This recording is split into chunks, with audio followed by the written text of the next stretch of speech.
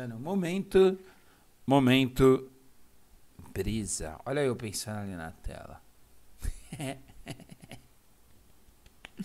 Ai, caralho. Não, antes disso, calma aí, eu vou fazer uma parada aqui. Não, não vou deixar vocês me olhando aqui, não. Olha as news aí, ó.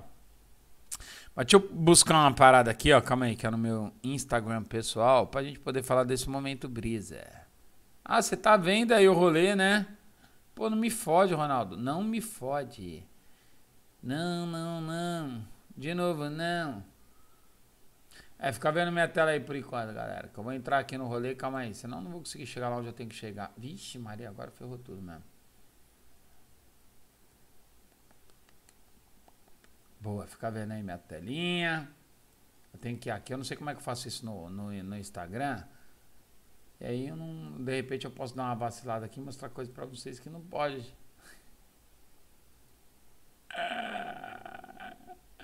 Calma aí, galera. Porra, mano, eu não sei como é que faz isso pra ver no Instagram da tela aqui, ó. Na, no Instagram. Acho que nem dá pra ver. Não, tem que dar, mano. Não é possível. Papapá, papapá. Ah, é aqui, ó.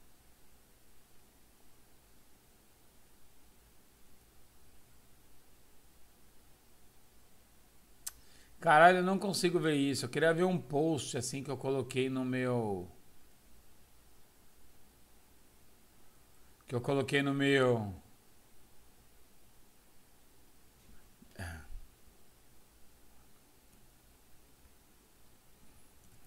É, que eu coloquei no meu Instagram.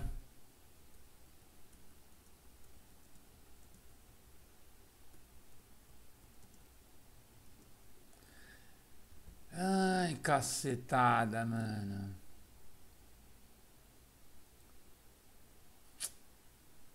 Tá bom, foda-se. Foda-se. Foda-se, foda-se, foda-se. Foda-se. Mas enfim, galera, vamos ficar com. Vocês preferem o vermelhão? Não, isso tá assustador, né, mano? Olha o gráfico, assusta menos. O gráfico assusta menos.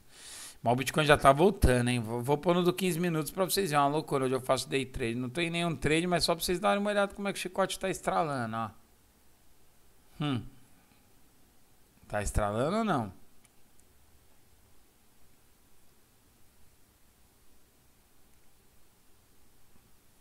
Rapaz. Rapaz. O que, que vocês acham?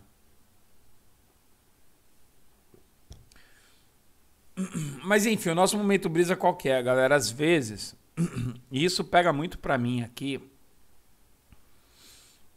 principalmente quando eu tô analisando o mercado, né? Quando você tá analisando o mercado, porque você tem que tomar uma decisão, né? E qual que é a ideia desse rolê da decisão, mano? Às vezes, muitas vezes na vida, no mercado você tem que tomar decisão o tempo todo. Você vai comprar ou você vai vender, velho. Não tem boi. Tá ligado? Ou tu compra ou tu vende. Na hora de você apertar o botão, tu tá comprando, tu tá vendendo. A intenção pode ser uma. A decisão de comprar e vender, né? A intenção que eu digo é ganhar dinheiro. Mas a decisão, é essa, ela é simplesmente ela é binária. Ou você compra ou você vende, né? Só que às vezes na vida, isso é uma decisão que às vezes é muito simples. Ah, eu compro, eu vendo, eu vendo, eu compro, eu compro, eu vendo. Mas às vezes tu começa a botar um peso. vou chegar lá no rolê, né? Mas às vezes tu, tu começa a botar um peso para tomar essa decisão muito grande, velho. Muito grande.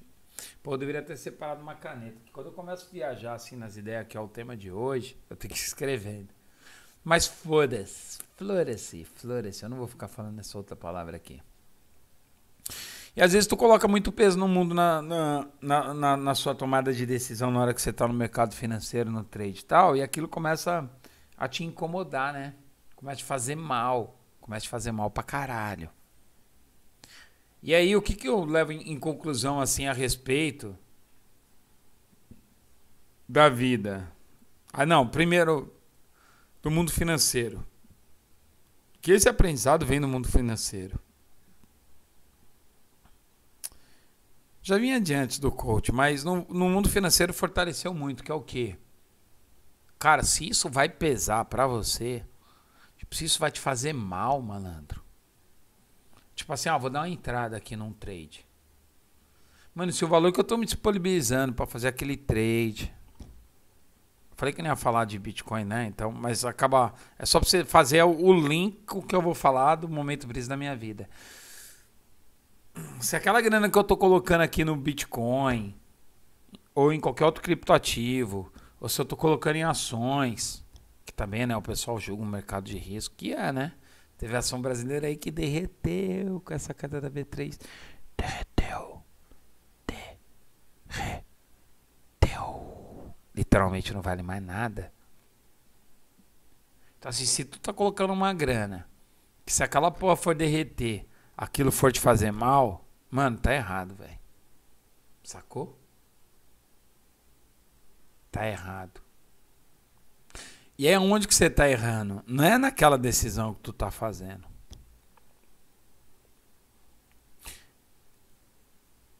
É no peso que você tá colocando naquela decisão. Só quando a gente fala de dinheiro, fica fácil tangibilizar. Olha a ideia. Por que, que fica fácil tangibilizar? Porque é conta simples, né, velho? Eu tenho X. Se eu perder, é binário. Fudeu. Perdi. Se eu ganhar, ótimo. Se o fato de perder aquela grana tá fazendo mal pra sua cabeça, não tá bem. Tá errado. Porque a grana que tá nesse rolê aqui não pode te fazer mal. Tá? Que nem eu falei pra vocês, essa semana eu fui estopado. Não era eu operar. Ontem eu entrei numa operação. Fui lá e já coloquei meu risco no zero mais rápido que eu pude. Se eu não tivesse colocado meu risco no zero, eu teria ganhado muito dinheiro de ontem para hoje. Porque foi onde eu queria. Como eu coloquei no zero porque eu não queria arriscar, ele foi lá e me tirou da operação de novo no zero e foda-se. Mas daí o que eu quero te trazer, galera? É o lance de você tomar decisão ou não. Toda essa analogia aí com o mercado financeiro e com o trade que eu trouxe não tem nada a ver com o momento brisa, porque o lance é de você tomar uma decisão na sua vida ou não, mas é só para você entender onde que eu vou chegar e é só para você entender que se te incomoda tá errado. Só que às vezes o que tá te incomodando ali naquele momento não é aquela ação em si. Ou melhor, não é aquela decisão que você vai tomar que verdadeiramente vai mudar a sua vida.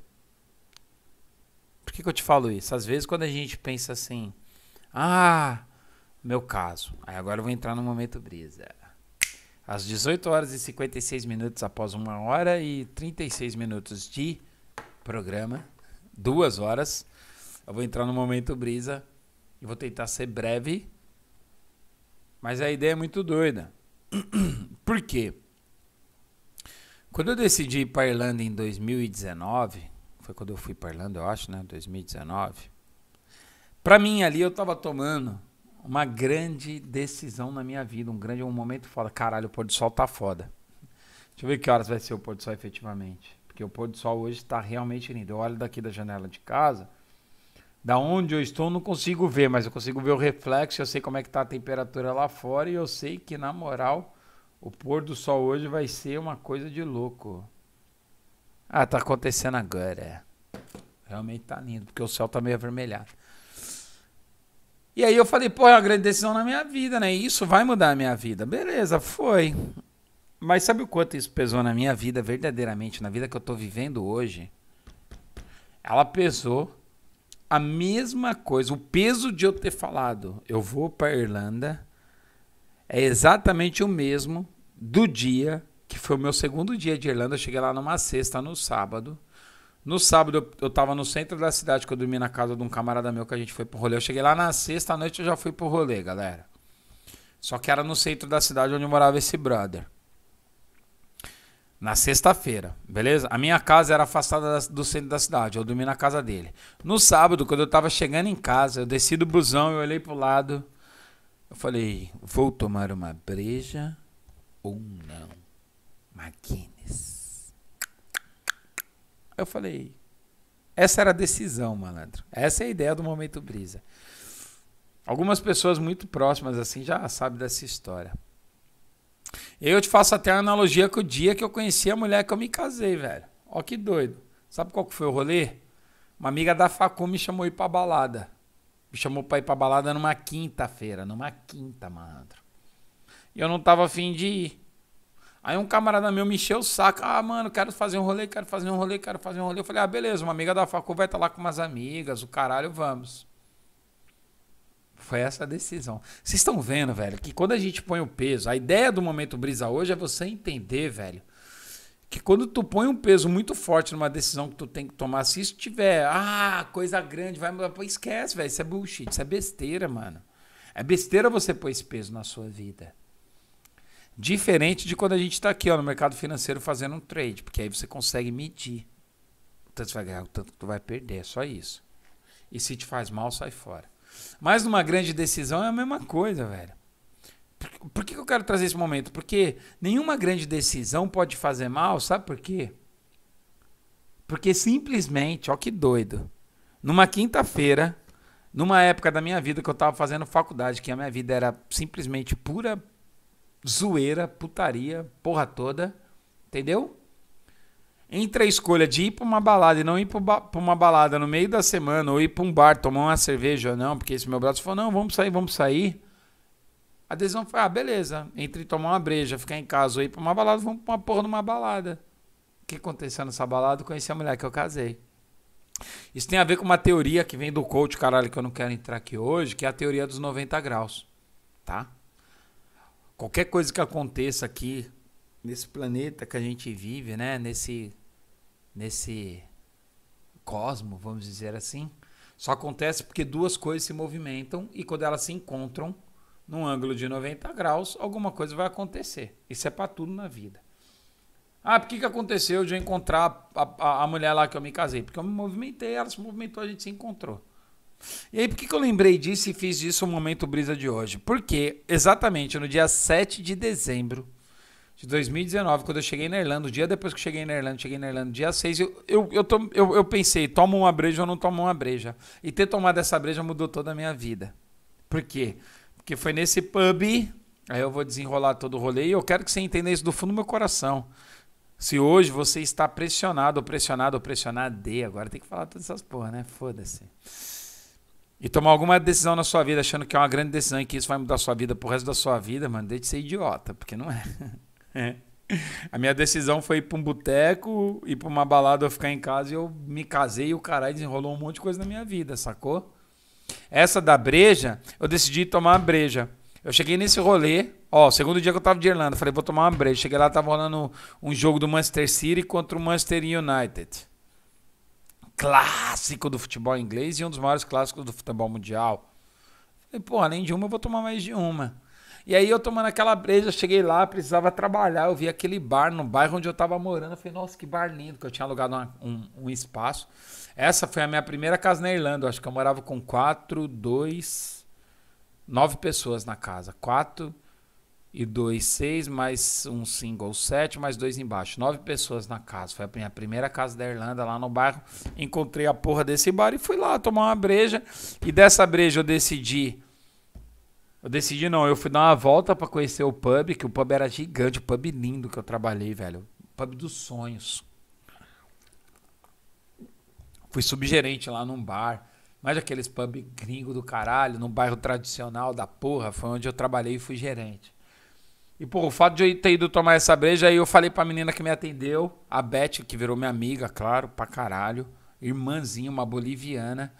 Falei, pô, como é que é? Só isso daqui? Ela falou, não, tem uma mesa de snook lá fora, tem um restaurante lá dentro, um bar gigante, pá, não sei o que. Eu falei, pô, eu posso ir dar uma volta depois que acabou o jogo? Tomei quatro chopps, quatro Guinness. Aí eu fui dar uma volta e o gerente, era como era outro ambiente, ele veio trocar ideia comigo e falou: Você tá procurando alguma coisa? Aí eu olhei pra cara dele assim, ó. Já tava, mano, quatro Guinness na cabeça, né? Barbudão, cheguei lá na Irlanda, barbudão, de touca, dezembrão, frio pra caralho. Bota, a prova de gelo lá, de neve, a, minha, a bota que eu tenho, pra andar na neve. Botona gigante. Aí ele olhou assim pra mim assim, eu falei, eu tenho. Não, daí eu falei pra ele, ele falou, você tá procurando alguma coisa? E óbvio que eu não era dali, né? Porque como era um bairro afastado, Tipo assim, você tá lá em Dublin, você tá no centro, você vê um monte de imigrante, né? Um monte de, de gringo, né? Um monte de imigrante. Mas nesse bairro onde eu morava, como era um bairro afastado e um bairro nobre, né? É, era muito local, assim, eram poucas pessoas de fora. Na real, acho que as pessoas de fora que moravam no bairro eram praticamente as pessoas que moravam nas, nas casas que eu morei, de verdade, foi no meu coração, gente. Que era uma casa, depois fui morar numa casa com 25 pessoas, que do lado tinha uma outra casa com 25, e essa minha casa com 9, assim. Lá eram, pelo menos os brazucas que moravam lá, eram nós, velho. O resto era tudo os irlandeses mesmo. E como era um, um pub, do, imagina o boteco do seu bairro. Imagina assim, o boteco do seu bairro onde cola só os brothers para tomar uma breja. Então era óbvio que eu não era de lá. Tanto que na hora que eu entrei no pub, muito doido, assim, que eu entrei, todo mundo, literalmente, todo mundo que estava no pub ficou me olhando, tipo, quem é esse doido, né? E dali partiu de arrumar meu primeiro emprego na Irlanda, meu primeiro trampo. Ó que doido. E aí, desse trampo, veio o lockdown. Aí a gente ficou em casa. Aí lembra que eu falei hoje aqui no começo sobre a sexta-feira? Que chegava sexta-feira, apesar de todo dia na minha casa, mano, era festa, galera bebendo, mó zona, porra toda. Eu morava com 25 pessoas. Já não era nessa primeira casa quando veio o lockdown. E na sexta-feira era uma energia diferente. Foi lá que eu pensei, porra, mano, a gente tá em lockdown. Eu não tenho que trabalhar, não tenho que estudar, né? A minha escola era online, era ridículo. Você acordava lá e via lá, mano, era escroto. Chato pra caralho. Não era nem vídeo, assim, era uma bosta. Eu resolvi voltar a estudar o que? Marketing digital. Então veja bem. Presta atenção na cerveja. Aí nessa que eu voltei a estudar marketing digital, eu tive a ideia de um projeto. Que é esse projeto aqui, ó. Vou mostrar pra vocês, ó. Momento brisa, momento brisa. Deixa eu ver aqui.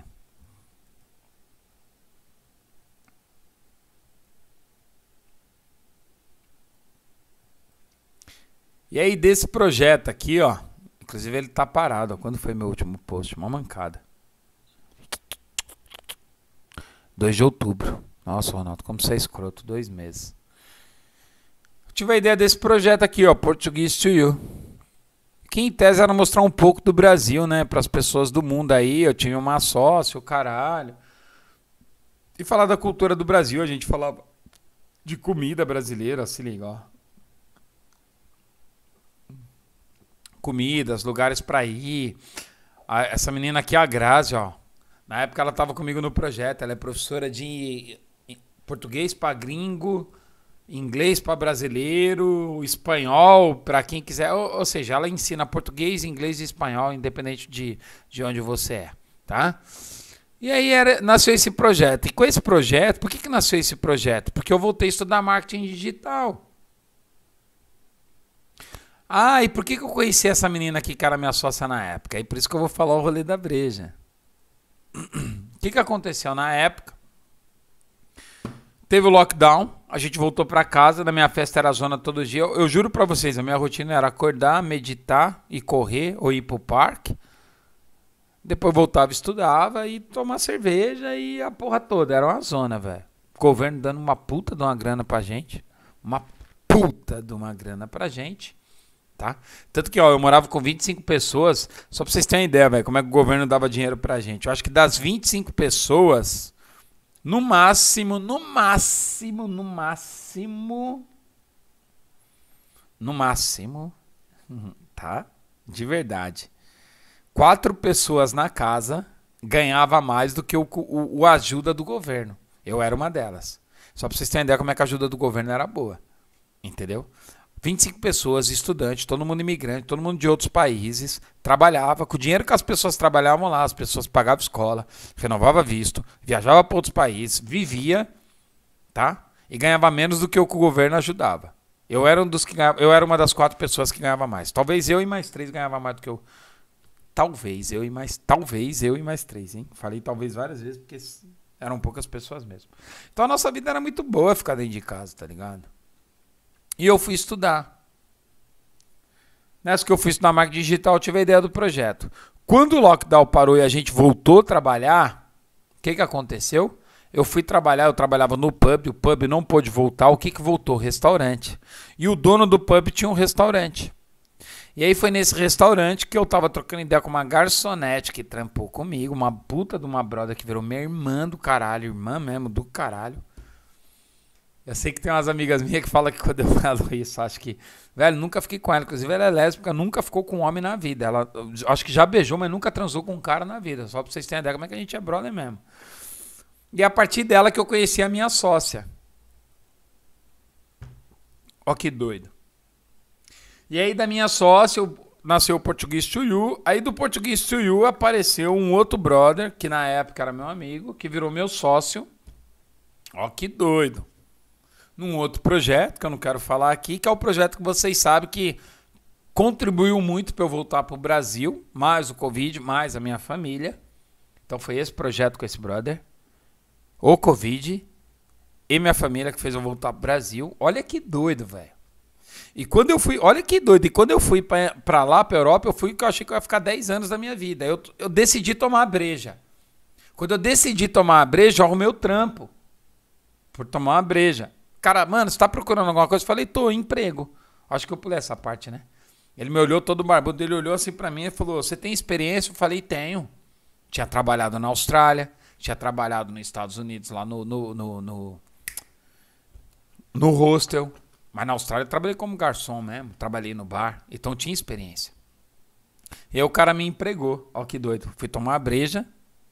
Dessa que eu fui tomar a breja, eu perguntei pra menina se era só aquele espaço daquele ambiente. Ela me falou onde, onde era o restaurante do pub, que tinha outro bar, me falou da mesa de que eu fui conhecer. O cara olhou pra mim e falou assim, mano, tá procurando alguma coisa? Você tá bem? Eu falei, não, tô procurando emprego, ó que doido. Aí eu comecei a trabalhar, tanto que eu comecei a trabalhar na semana seguinte. Aí teve o lockdown. Vocês estão entendendo a cronologia do bagulho que mudou toda a minha vida?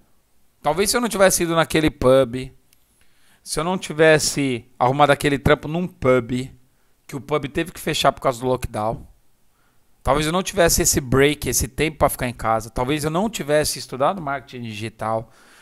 Aí nessa empresa, talvez, depois que voltou, eu fui trabalhar no restaurante eu não tivesse conhecido a garçonete que trampou comigo, que eu também era garçom, que me apresentou a menina que virou minha sócia, onde eu intensifiquei meus estudos no marketing digital, onde eu voltei a trabalhar com marketing digital, onde apareceu esse outro camarada meu com outro projeto e a gente virou sócios. Onde esse projeto, mais o Covid, mais a saúde dos meus pais, que por causa do Covid, ó, o Covid fez eu voltar marketing digital, estudar marketing digital forte. Eu estudo marketing digital desde 2015, minha primeira formação. Aí eu voltei a estudar forte, o Covid fez isso. Aí eu voltei pro Brasil. Aí esse maluco me sacaneou, terminou a sociedade. Ele foi um puta de um pilantra. Era um brother de 11 anos. A gente não troca mais ideia. E por causa disso nasceu esse canal esse projeto. Então, assim, galera, qual foi a grande decisão na minha vida na época? Olha, as grandes, dentro desses, de tudo isso que eu falei para vocês, sair do Brasil e para Europa, na minha cabeça. Mas foi, qual, qual foi a coisa que realmente mudou toda a minha trajetória de vida? Eu ter ido tomar uma breja num pub, foi onde arrumei um trampo, e aí desencadeou tudo isso. Ah, qual que foi a outra grande decisão na minha vida? Tipo assim, porra, dentro dessa história toda. Na minha cabeça, na nossa construção, foi voltar para o Brasil. Mas essa não foi. O que realmente fez a grande diferença na minha vida, sabe o que, que foi? Foi em dezembro eu estar tá lá em lockdown, tá? Aí eu tava lá trampando nos projetos e eu comecei a estudar isso daqui, ó gráfico. Ah, Ronaldo, por que, que você decidiu estudar gráfico? Olha que doido. Porque eu comecei, eu entrei num curso de um cara que não era um curso, era uma sala de sinais. Aí eu fiquei doido. falei, mano, como é que os caras entendem essa porra aqui? Ó? Como é que os caras entendem essa porra? Eu não quero ficar dependente de um arrombado ficar me mandando um sinalzinho dizendo compra e vende. Não, eu quero aprender esse rolê. Eu quero aprender. Aí foi quando eu comecei a estudar. E aí a outra grande decisão foi voltar para o Brasil, mas na verdade a decisão mesmo que fez diferença na minha vida foi eu ter comprado um cursinho lá de sinais e falar, mano, eu quero aprender essa porra. Por quê? O que, que aconteceu? Esse maluco fez essa sacanagem comigo, entre aspas, né? Assim, ter terminado a sociedade não foi a sacanagem. O que aconteceu pós terminar a sociedade foi a sacanagem, ok? Ok? Só para ficar claro. Mas é o que eu falo para vocês e já falei aqui no momento cripto. Eu sou muito grato a esse maluco. Porque se não fosse ele e esse projeto, eu não estaria próximo da minha família. Eu não estaria de volta no Brasil, eu não teria esse canal. Então vocês estão entendendo? Quando a gente se coloca num momento de pressão psicológica por alguma grande decisão, na verdade, é só a gente mesmo que tá fazendo essa porra aí, velho. Sabe por quê? Porque na verdade, velho, uma pequena decisão de ir tomar uma breja ou ir para uma balada. Eu te dei só dois exemplos na minha vida, tá? Eu posso resgatar infinitos outros. Mas são dois que marcam e que fica fácil de ilustrar. Pode mudar a sua vida completamente. Tá bom? Assim como de repente acompanhar esse canal aqui pode mudar a sua vida completamente, cara. Você começa, você pode começar a entender dessa porra aqui e de repente ser uma pessoa foda e entender do mercado e investir no mercado e ficar multimilionário igual um monte de gente já ficou com esse mercado aqui. Só um exemplo, tá? Só uma decisão falar, ah, vou ficar ouvindo esse otário. Eu tive essa decisão para comprar uma porra de um curso. Inclusive, aí agora hoje eu posso falar para vocês, que eu já falei desse maluco duas vezes aqui no canal. O maluco que está envolvido no caso da Louvre. Ó, porque é importante você querer aprender. Que é o tal do Diego Aguiar. Ele foi o primeiro curso que eu comprei de, de, de dessas porra aí de sinal, caralho, de gráfico e criptoativo. E agora eu falei de novo essa semana de um outro golpe aí que ele está sendo acusado. O cara está sendo acusado de dois golpes, beleza? Ah, Ronaldo, você caiu nos golpes dele? Nenhum. Por quê? Porque eu sou curioso, eu fui estudar. Ele foi o cara de sinais que eu recebi. Aí, ele, aí rolou o rolê da Louvre, que ele está envolvido lá, a galera tá falando que é golpe, os caras levantaram alguns milhões, bilhões. Ele, saiu, não sou eu, tá, galera? É o que saiu aí na mídia. Ele, o tal do Charcão e do Rui, e um tal de eu não lembro o nome do outro cara. São quatro caras, quatro influencers.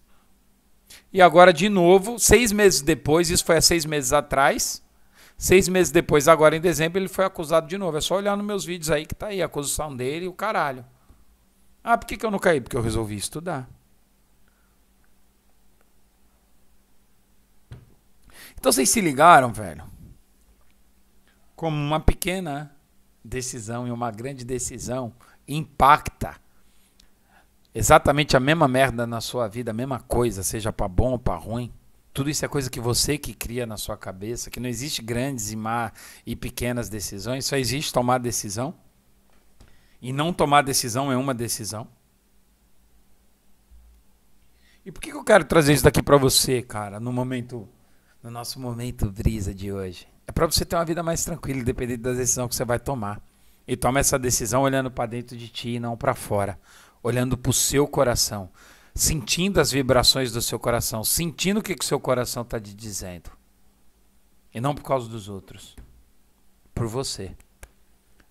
Porque esse rolê de pequena e grande decisão é tudo uma imaginação que a gente cria na nossa cabeça. E se isso for te fazer mal, não faça. Assim como os seus investimentos. Fechou? E é com essa ideia aqui que eu me despeço de vocês. Que você tenha uma vida abençoada, um final de semana abençoado. Eu também, é claro. Que você fique bem aqui, ó, com a sua cabeça, com o seu coração, com a sua alma com as pessoas que estão ao seu redor, que você seja contribuição, bondade, amor e carinho nesse mundo que está precisando muito, assim como eu procuro ser. E tamo junto aqui, segunda-feira, às 4h20, no nosso, no nosso, cadê o copo? No nosso chá com cripto, no nosso, no nosso bate-papo, no nosso chá da tarde juntos aqui de segunda a sexta-feira às 4h20. É claro que esse horário pode mudar o ano que vem. Eu já falei para vocês. Em breve eu revelo o porquê se acontecer. Estou envolvido em vários projetos. E por enquanto, galera, toma cuidado, porque se isso daqui tirar seu sono, tá errado. Se não tirar o seu sono, tá tudo certo. O Bitiga tá para perder esse outro suporte que como perder os outros. E se perder, vai desabar. E aí, se desabar, mano, sabe o que você tem que pensar? Foda-se abre uma cerveja, vai no seu chá, assim como eu vou no meu, e tá tudo certo. Isso não pode tirar o seu sono, assim como não tira o meu. Tamo junto, galera. Fiquem bem. Um excelente final de semana. Te vejo aqui segunda-feira que vem e fui. Um beijo no coração. É nós, tamo junto.